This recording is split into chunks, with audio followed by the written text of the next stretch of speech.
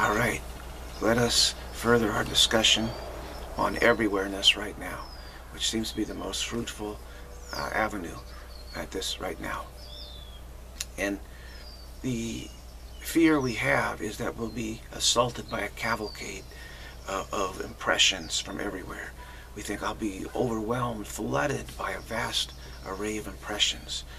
Uh, let's take a look at that. If, we're, if we're aware of everywhere, we're everywhereness, everywhereness right now, being aware of everywhereness right now, we think I'm going to be aware of everything.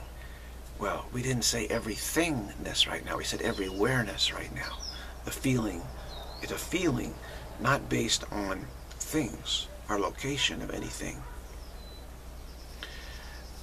It's a feeling based on everywhereness right now is is aware of everywhereness right now. Where would we need to go? We would need to, to move a move it all, would we? Because we're, we're included in this everywhereness. Now, everywhereness would not be need to be rushing somewhere. Say, wait a minute, I need to get over here, I need to get over there. No, it would be completely still, wouldn't it? Complete stillness, complete calm, complete unhurriedness, complete no sense of having to accomplish something in time and space, right? So it would be a timeless, spaceless feeling, sort of feeling. And since everywhereness right now is aware of everywhereness right now, there's nothing special that we need to, needs to be aware of, right? So it doesn't matter what we're aware of. The feeling is the same everywhere. So we wouldn't need to have our attention on anything in particular. There's no need for us to be aware of everything, making sure that we don't leave something out. It's already the case.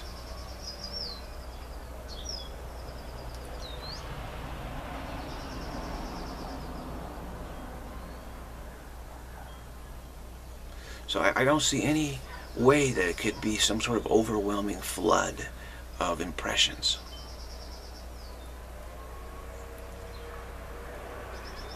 Perhaps just the opposite.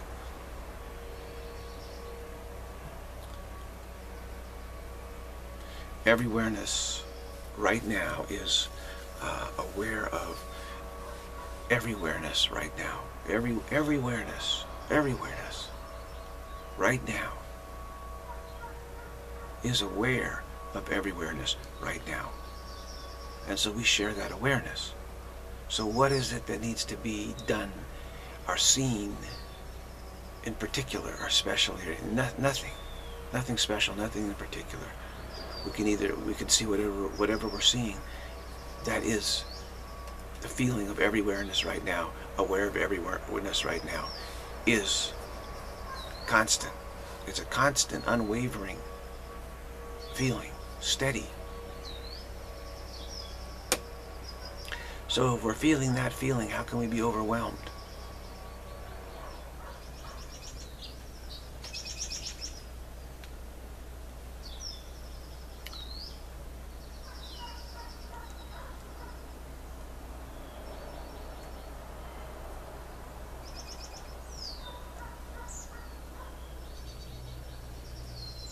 seems very unlikely we'd be overwhelmed. Um,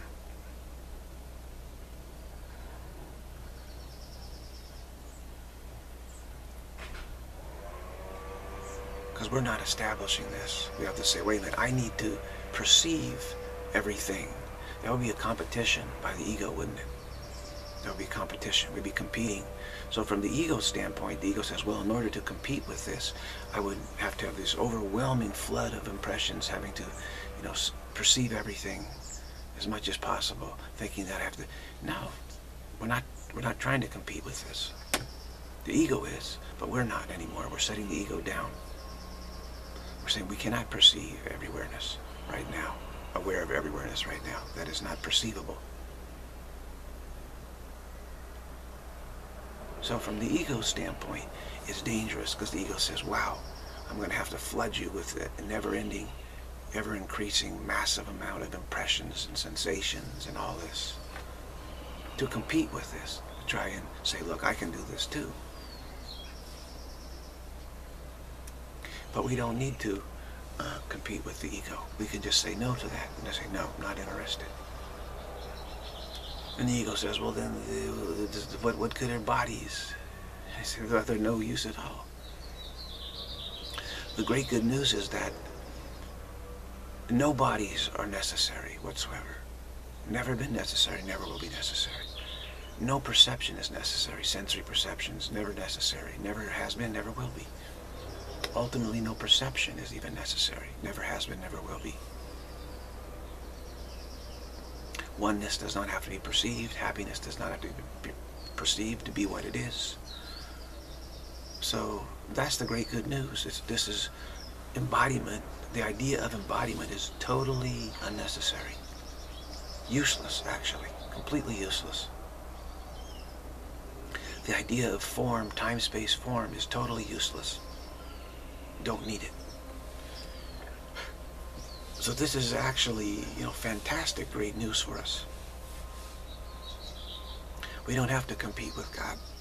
God did not ask us to compete with God to see, to test out God and see how, how great God was or to try and come up with something better. No, we're not, we're not being asked to compete. That's something we did on our own, just on a, on a lark, on a whim.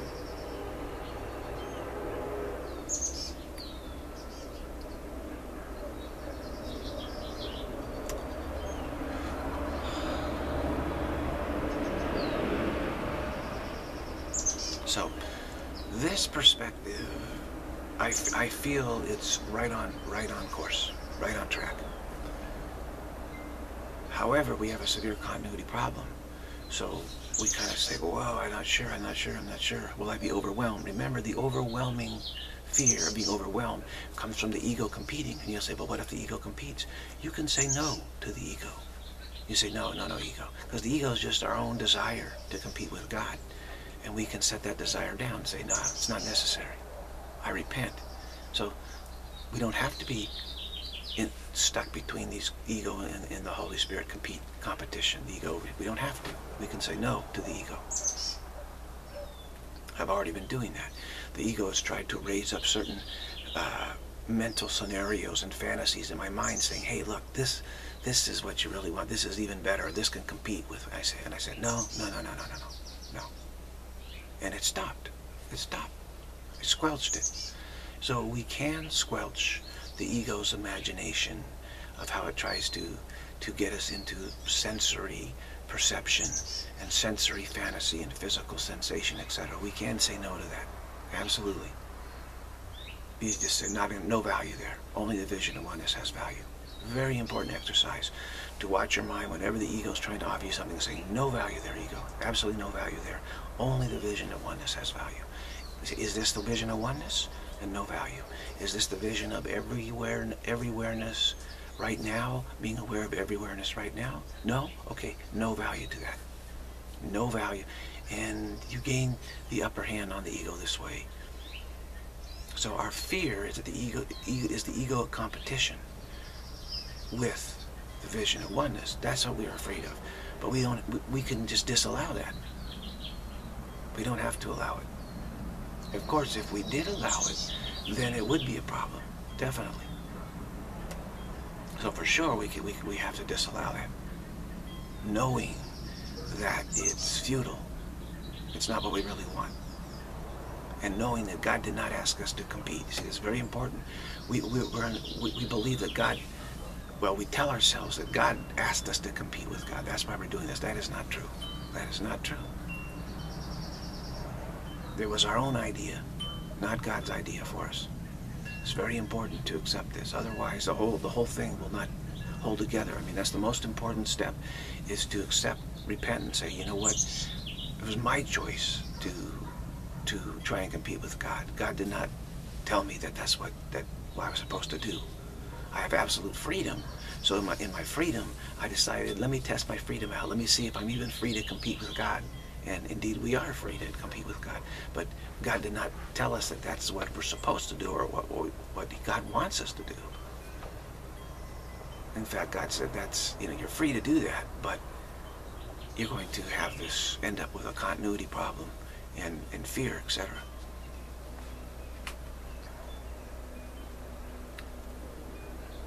but the good side of it is we, we, we are reassured that we are truly, totally free. We're even free to try to limit our freedom. We can't, we can't do it, but we're free to try. So that that's all important. Repentance, all important. No, we we did this to ourselves. We're doing this to ourselves. God did not tell us to, to compete with God. Therefore, we can say no to the ego. As the ego tries to compete with the vision of oneness, we say no, no ego. It's finished. You're finished. That's it. I'm finished with that. So this is very crucial uh, clarification here. Now, knowing all this and implementing it are, are two different things. The problem in the world is that there's this pressure not to implement it. There's a pressure to keep competing with God. Very strong pressure. And this pressure is being marketed and advertised very slickly, uh, very slick, very cleverly, very seductively, actually. The idea of, of competing with God to to be try to be able to perceive oneness, to perceive happiness, to, to get gain happiness through sensory perception is uh, being marketed in, this world to an unprecedented extent, absolutely unprecedented extent. We have this complete global village right now, and uh, global campaigns and massive seductive advertising, uh, this monster of seductive advertising, glamorous seductive advertising that is marketing this idea of competing with God, of trying to perceive oneness, trying to say that the body is our identity and is a greater identity than reality, than formlessness, and, and believing we can perceive formlessness, we can perceive oneness, we can perceive everywhereness, which is not true. So this is being marketed on this planet to an un, unprecedented extent. And so the question is, do we not have a right to uh, distance ourselves from, from, such a noxious influence? Of course we do.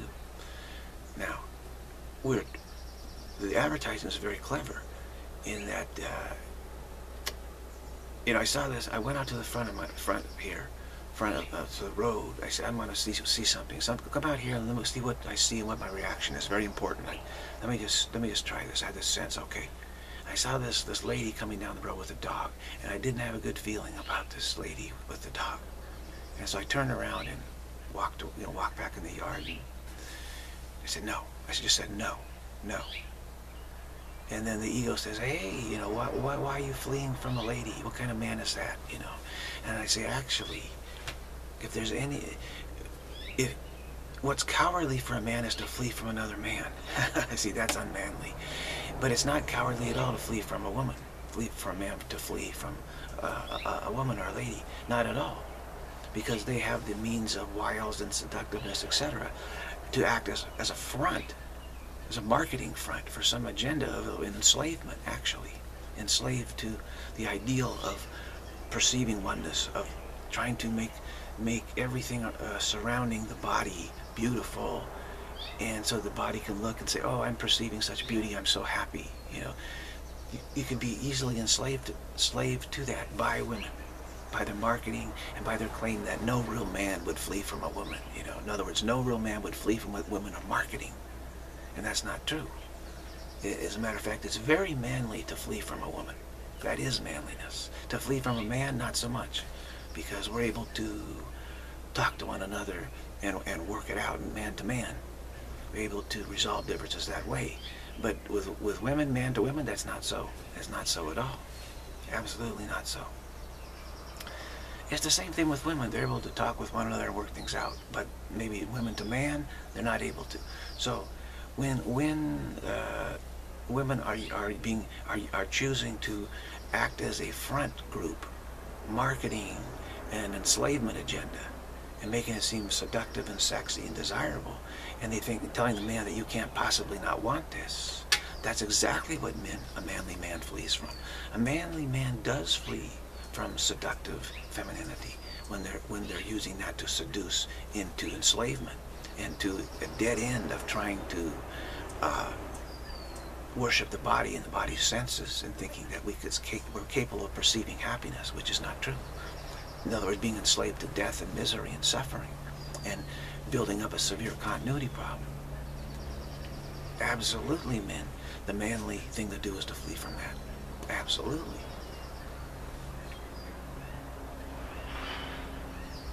No real woman woman would expect less of a man than to flee from that. You see.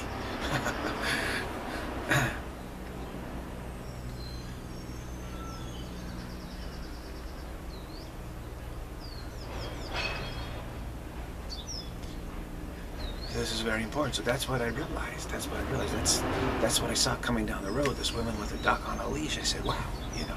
The fact is that these, those women that are that are marketing the, the, the body sensory campaign or body sensory happiness are fronting for for a, a bigger group. Actually, they're the, the spokeswoman, the front the public face of, of actually a very nasty fourth dimensional control matrix matrix control.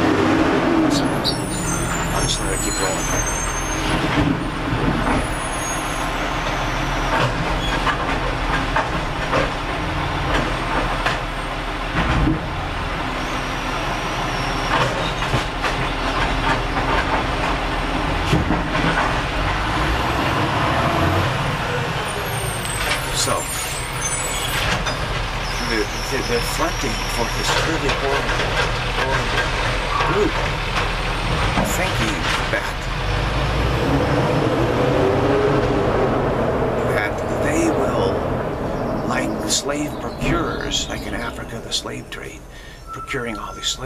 Slave procurers and, and, and the front men, the businessmen that were doing, they lived wealthy. You know, they, they weren't enslaved. They, they were opulent, lived opulently because they were providing the slaves.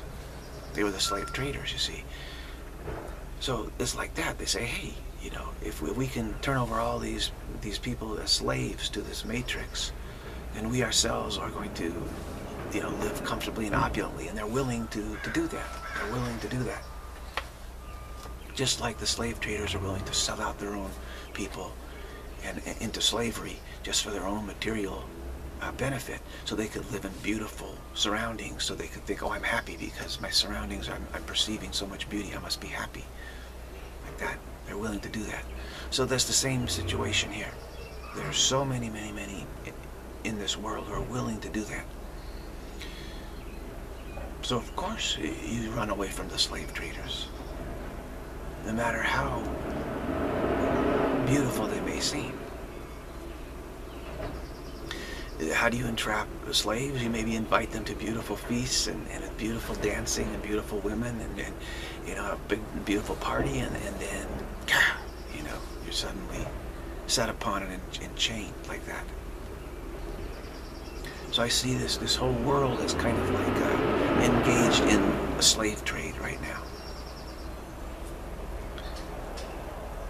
And the, the slavers are actually the fourth dimensional extraterrestrial matrix belief system.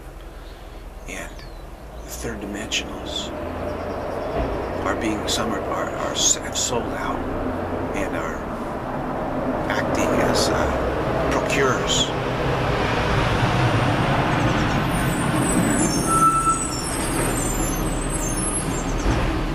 it's the same thing like with prostitutes. Most most uh, brothels are run by women, madams. They're the ones who enslave other women. They're willing to do it so they can live in finery. You know, they're willing to do that.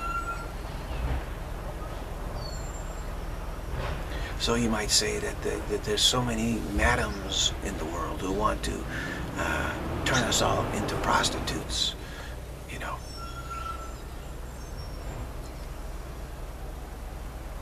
Turn us into type of quote-unquote prostitutes. They're willing to do it because they'll have the fine house, the fancy clothes, the fancy cars, the beautiful look, and they, and they think, hey, I'm happy, I'm beautiful, I'm happy, I'm greater than God. And so they most definitely flee from that, flee from enslavement, flee, flee from prostitution.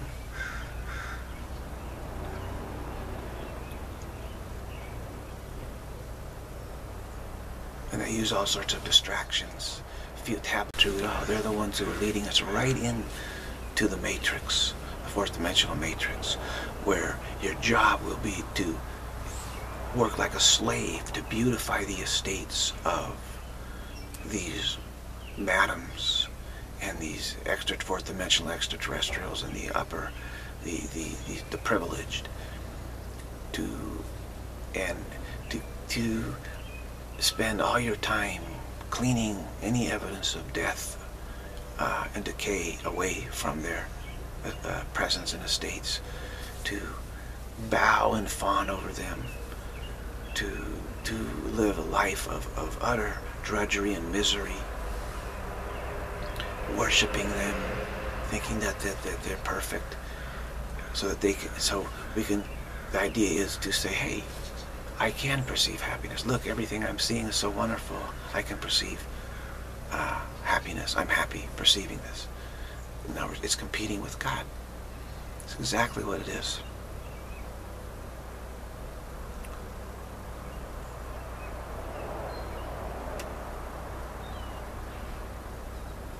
So the manly thing to do is to flee from lies, especially beautiful lies, lies that are being fronted by supposed physical beauty, or even quasi fake spiritual beauty, is to is to flee from those lies. Say no, to turn your back on those lies, to turn your back on them, turn your back on it. Absolutely. Any man who doesn't do that is actually a coward to saying, ah, I, I, I have no will to resist, you know, the sirens, the beautiful sirens that are singing their song to say, come here to your destruction. I have no will to resist. What kind of man is that? That's a coward. Someone lacking will. You know, the will is to turn your back on that and say, no, no, no, no. And thereby be beneficial to all Thereby be a true inspiration.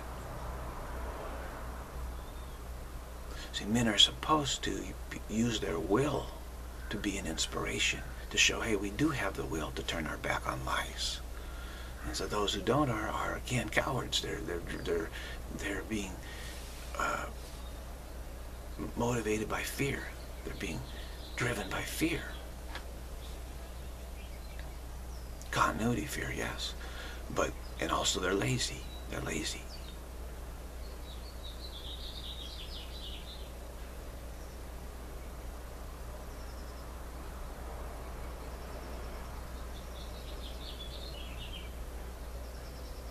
They're just roosters controlled by the hens, essentially.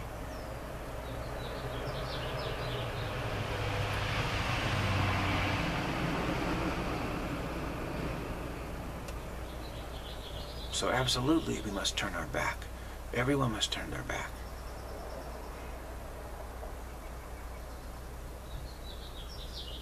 on this this death trap, this enslavement trap that that is being marketed to this world in a super aggressive way. Super aggressive way.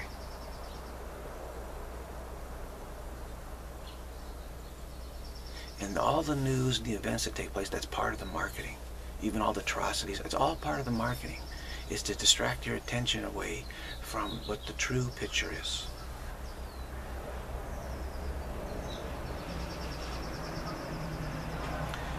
That is spiritual competition with God is the problem. Our necessity to repent, our necessity to be in the mood of repentance, which enables us to hear the great good news that we don't need to be in competition with God. We, therefore, we don't need to try and keep seeing happiness. We don't need to keep trying to see, perceive oneness, perceive everywhereness right now. There's no necessity for that at all. There's never been. And the awareness of, of that is available to us each moment.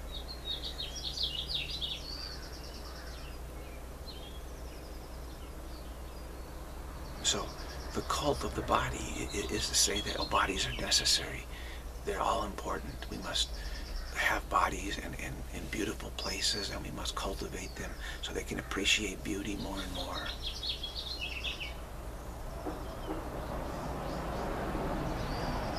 That's what they did with, with Buddha, right? He was born into a royal family where they, they kept all the gardens, everything immaculate. And, saying, you know, and Buddha said, no, no, no, no, wait a minute. Because the outside here, everybody's sick and decaying and dying. You know, what, what's going? What are you trying to do here? What, what's going on here?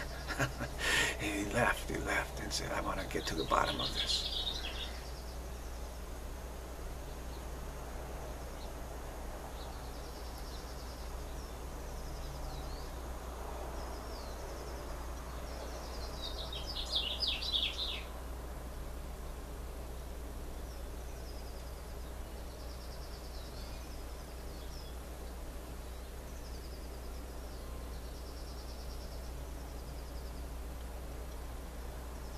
Everywhereness right now, aware of everywhereness right now.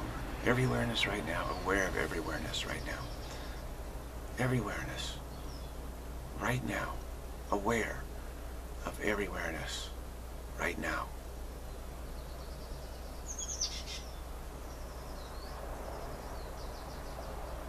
Is that perceivable or is it only knowable? It's only knowable. It's only feelable. It's only experienceable.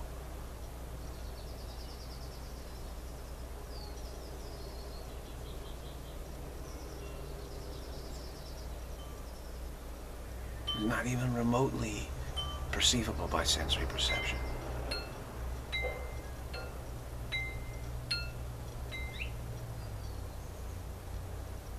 Because it's not a reflection, is it? It's not a reflection. It's not light being reflected. It's a fact. It's simply a fact. It's not an event. It's an awareness. It's not an event. It's not an occurrence. It's not, it's not a thing. It's not a motion. It's not a location. It's not a timing situation. There's nothing that perception is uh, built to perceive at all.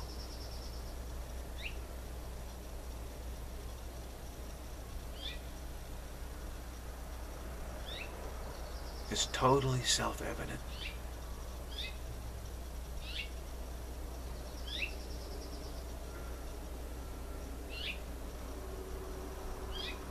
Perception is to view various events and situations that are, etc., and to judge and to think and see what am I seeing, what is this, but what is completely, totally self-evident without without a second, everywhere, right now, always totally self-evident, is not is not an object, can never be an object of awareness of of perception cannot even be an object of awareness. It, it, it is awareness.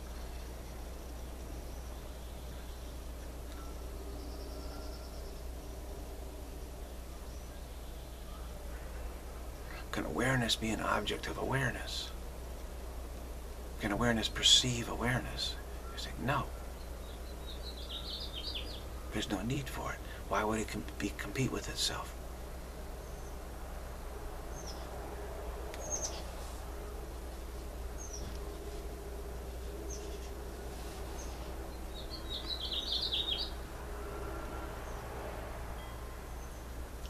Awareness is not a perception, it's a feeling.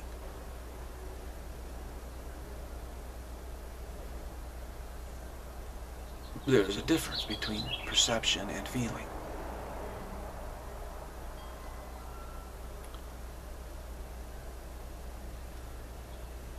Between thinking and experiencing.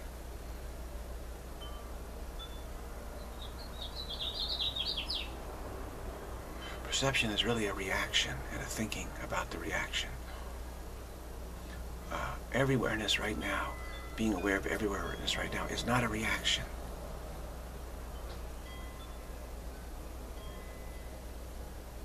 You could say it's reaction free. It's reaction free.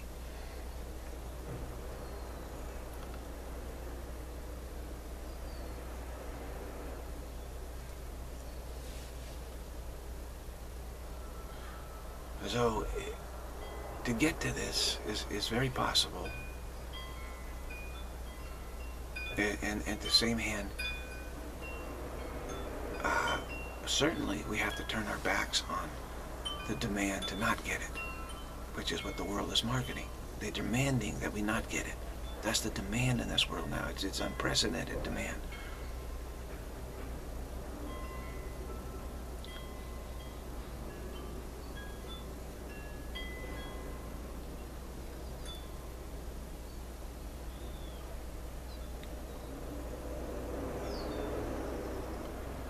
Idea is that there's someone somewhere that's perceiving it, perceiving happiness, and therefore they've designed a program to get everyone to be able to perceive happiness. This, this is false. This is delusionary. There is no hierarchy of perceiving happiness or perceiving oneness. There doesn't exist. We believe it does, fantasize that it does, but it doesn't. It's like the Empress goes to a tailor, a fashion designer, and says, look, here's, here's five million dollars. I want you to, to tailor me a five million dollar dress. Okay. And I'm going to parade throughout the entire kingdom showing people that all they have to do is look at me and look at this dress and they'll be happy. They'll be able to perceive happiness because this dress is so splendid that whoever looks upon this splendid dress will be happy forever. so they give the money to the tailor. The empress gives the money to the tailor. And the tailor uh, absconds with the money. Okay. doesn't doesn't fashion any dress because the tailor knows that it's impossible. The tailor flees actually wow, this is crazy. So the Empress doesn't have any dress at all. And so she says, wow, what do I do? So the Empress says, ah, no problem. I'll tell my people. I know what to do. So the Empress goes out and is walking through, parading through her kingdom with wearing nothing at all. Nothing at all. And she says, everyone, my great subjects, I gave the great sum of five million dollars for this incredible dress. And this tailor has delivered this unbelievable dress. It's so incredibly beautiful. And all you have to do is look upon it and you will be happy forever after. Isn't this dress wonderful? And so she walks about and her subjects are saying like, huh, I, I don't see the dress. And, and, they, and then they think, and she says, oh, five million dollar dress. You just you see it, don't you? And then, and then they start saying, oh yeah, yeah, yeah, yeah, yeah. I see it, I see it, I see it, I see it. It's there. It's got to be there. And they start imagining, you know, that it's there. And before too long, everyone is saying, oh, Empress, your dress is so incredible. It's so wonderful. And of course, eh, they're all saying that. and and they start talking amongst each other a little bit. And they say, you know, I've never seen such a beautiful red dress. Have you ever seen? And the other one says, red, red dress? What are you talking about? It's a green dress. They go, huh? I thought, I, I thought it was red. They said, no, no, no, it's green. Are you sure? And someone else says, no, no, it's a yellow dress. See? So everyone has a different impression of what the dress is because there is no dress. there is no dress at all. But she's telling everyone there's a dress because I spent $5 million. I gave $5 million I wouldn't be walking around here without a dress. So you, so you guys, if you're not seeing it, you're, you're hallucinating. So you must be, and what happens is everyone then starts hallucinating actually that there is a dress. Because she tells you if you don't see the dress, you must be hallucinating. So then they say, oh, I don't want to be hallucinating. So then they start hallucinating, so they see a dress. This is the, the trickiness of it. Now, there's, there's a kid. There's a kid there with their, with their mom and their mom is saying, wow, what an incredible purple dress that is. That is completely awesome. Never seen such a beautiful dress in all my life. I'm so happy to see this dress. And the kid says, hey, mom, she's not wearing anything. She's totally naked. Isn't, nothing there. And the mom says, shh, shut up. What are you talking about? Or he says, well, you're, you're a kid. You're not able to see it. That's why. When you get older, you'll be able to see it. And the kid says, huh? Really? Yeah. Just shut up. Don't say anything. You know, people don't want you talking, talking like that. But don't worry. When you're my age, you'll be able to see that beautiful purple dress. It'll, it'll be incredible. You know, and the kid says, wow. I don't know. asks the other kids, are you seeing the dress? No. The other kid says, no, I'm not seeing anything. The other kid, no, I'm not seeing anything. But my mom says I'm crazy, and but I'm too young to see it. And when I get older, I'll be able to see it. And they go, huh, okay. And then one kid says, you know what? I don't think that's true. I think they're hallucinating a dress. I think the older you get, the, the, the more the, the more intimidated you become by pressure, you see, and loss of livelihood if you don't hallucinate. So they're all, all, all, all, all the elders are hallucinating that there's a dress there, and, and we're the ones that are actually seeing it properly. And the other kids go, ah, no, I, I think maybe when I grow up, I'll be able to see that. I want to be able, I want to be happy, so I want to be able to see it. And then, and one kid says, hey, you don't, you're not, you don't be happy by hallucinating a dress, and, and you don't be happy by perceiving anything. You cannot perceive happiness. You cannot perceive oneness. And all the and all the kids say, ah, well, I don't know. I want to grow up first and, and, and see the dress, see if I can see it.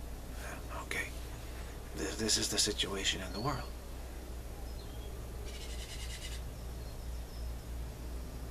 This is the situation that we're, is demanded of us, that we all hallucinate and insist, oh yeah, I'm seeing it. I'm seeing it. Oh, I'm really happy. I'm happy because I'm seeing this.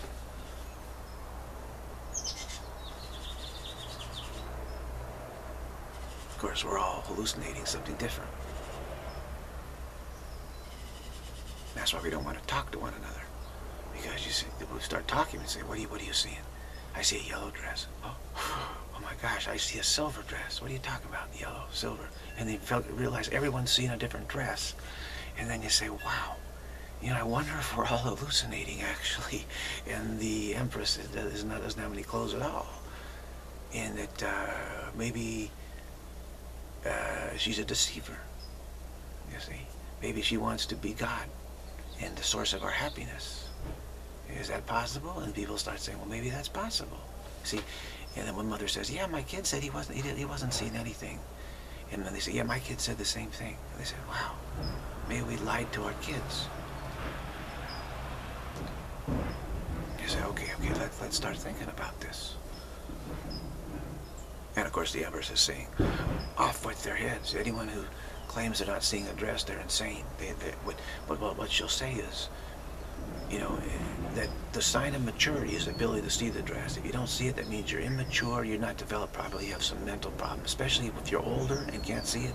And you definitely have a very severe mental problem. And don't worry, we have treatment centers all over for you where we'll be able to help you grow nurture your capacity to see the dress. That doesn't exist. So they're going to teach you how to hallucinate is what they do.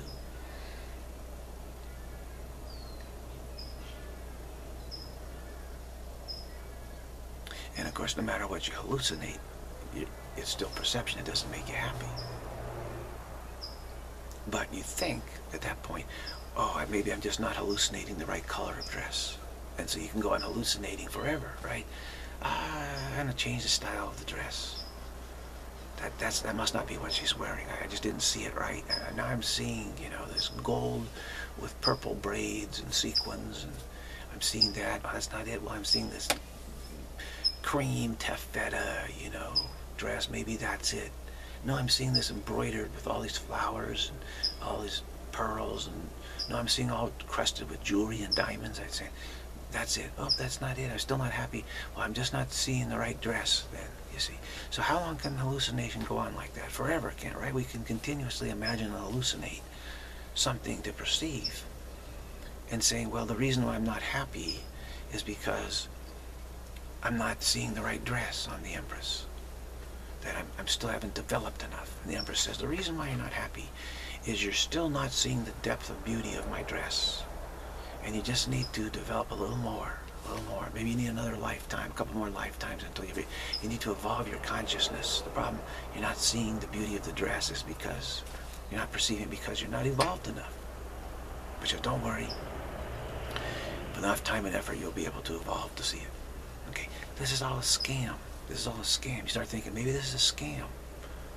Yeah, maybe the Empress is, is wants to play God, you know and it's telling us that, that, that she is the source of our happiness. That form is the source of our happiness. And seeing her direct. Now, of course, the Empress is the, the great quote-unquote mother of what? Nature, of form.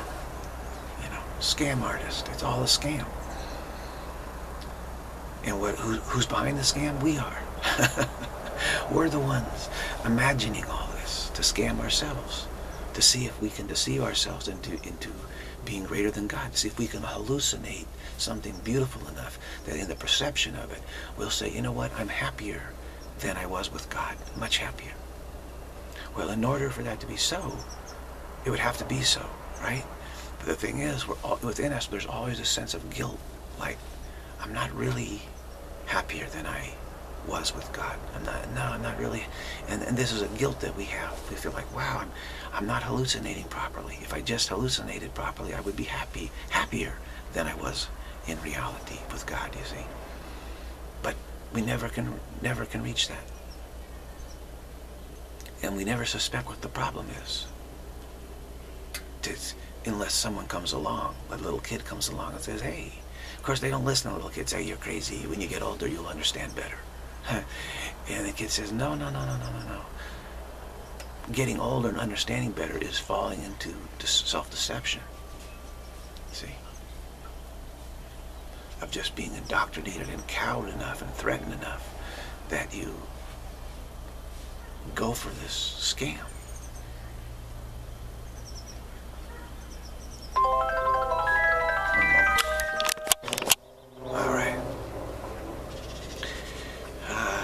I'm not sure where I left off here, but the world of form, everything of form is for the purposes of perceiving, perception. It's there to say, look, look, look, look, you can be happy perceiving form. That's not true. That's not true. That's competing with God. Our true identity in reality is actually formless. It's formless. And we say, well, there's nothing there. Well, there's nothing there that can be perceived. But everything is there to be known. It's all essence, content, feeling, experience. Is essence and content and idea. It's not form. So the, the, the, great goddess mother of form, of nature, is the empress with no clothes, actually, who's telling you you need to keep hallucinating more and more and more and more. Dress, see the dress is more and more beautiful, so you'll eventually be happy. You'll never be happy with form perceiving form. Never. We're only perceiving our own hallucinations. And you can, we can never perceive everywhereness. Right now, the right nowness of everywhereness, the, the oneness. We cannot, it's not perceivable.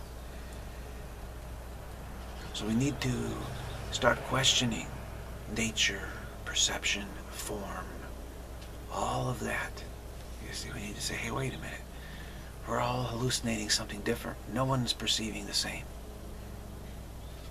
Which should tip us off that, that maybe we're all hallucinating.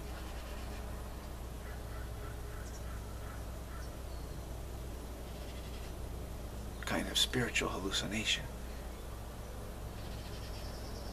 Maybe there's really nothing there to see, actually. Certainly nothing that can make us happy. Perception cannot make us happy.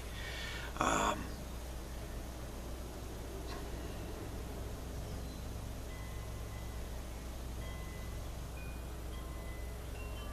so just trying to clear up as much as possible, as fast as possible here, because really time uh, time is running out.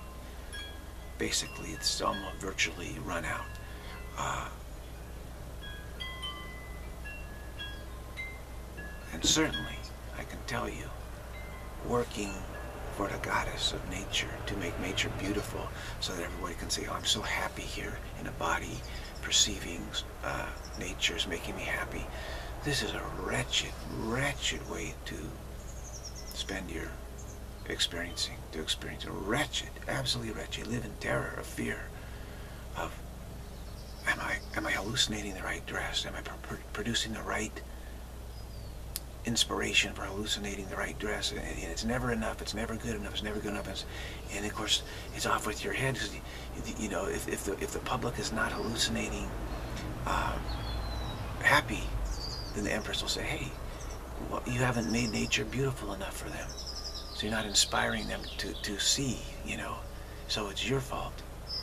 So it's a very extremely terrifying thing to serve the goddess. Very terrifying. Those who are trying to be the ones who present uh, nature, beautiful, beautiful experience for the senses, because it's never good enough. And everybody has a different uh, hallucination. And it's all your fault. It's all your fault. You see, you're not doing a good enough job. So you live in, live in this hyped up sense of, of great fear and trepidation. I have to produce something more beautiful. I've got to produce a bit more beautiful song. You know, in a previous life, I was a composer working for the goddess to try and make more beautiful music. And so people could say, oh yeah, I'm happy I'm hearing this beautiful music. And it was never good enough. So I lived a life of, of terror and, and, driving myself relentlessly to produce more and more beautiful music. And I, I, kept trying to find the ultimate music so that people would finally be happy. You know, it never, it was never good enough. It was never good enough. Some people would say, oh yes, I feel this, this, this, this, and this, and this emotion is very emotional, it's very nice, very beautiful. But I could tell it, it's not good enough. They're, they're still not happy. I said, they, are still not getting what they really want.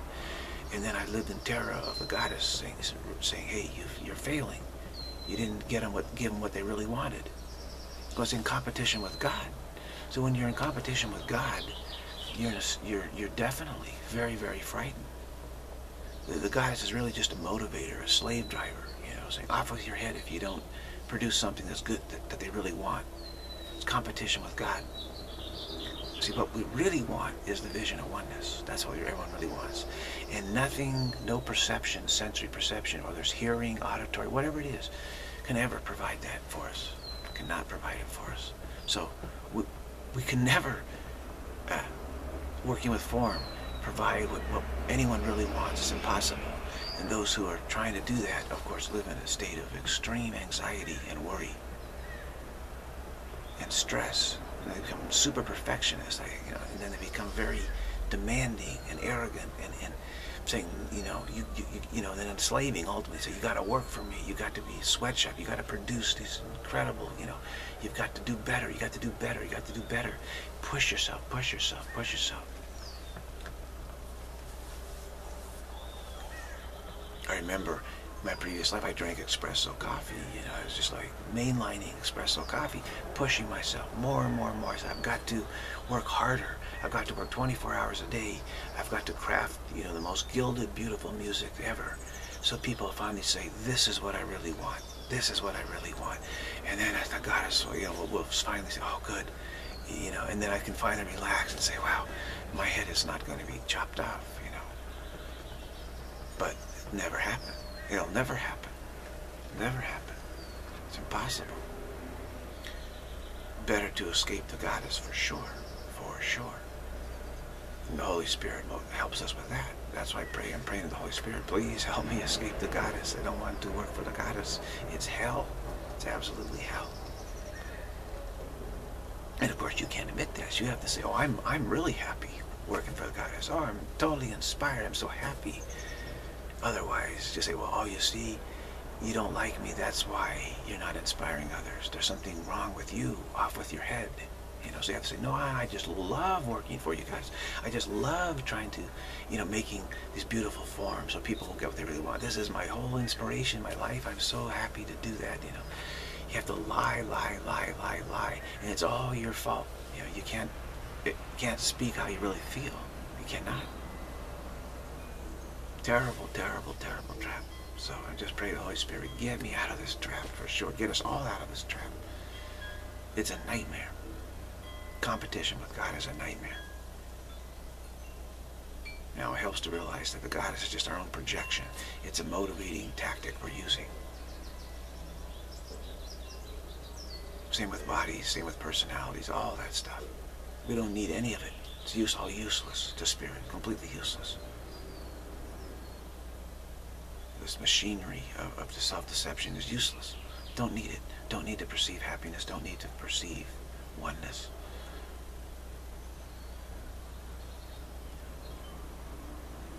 Just be, experience the awareness of it. Just experience the awareness of it. Okay, so I have to keep on digging, digging, digging here and in as much as possible because the, the, the times are, are, are horrific for sure, for sure and need to make a very timely escape from, turn our backs on this in a very timely manner. Okay? Very great. That's it for this one.